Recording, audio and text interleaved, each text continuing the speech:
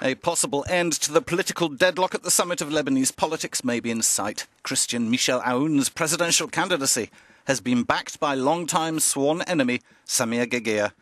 The move represents a unification of major Christian forces in parliament. Aoun's Free Patriotic Movement had previously supported Hezbollah. I hope the election process goes smoothly, and once it happens, I will lend my support to all Lebanese, and we will not act in a malicious way.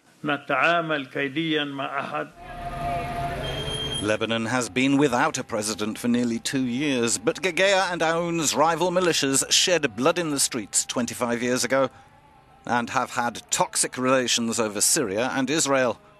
Coming together now is a surprise and a major change in Lebanese politics.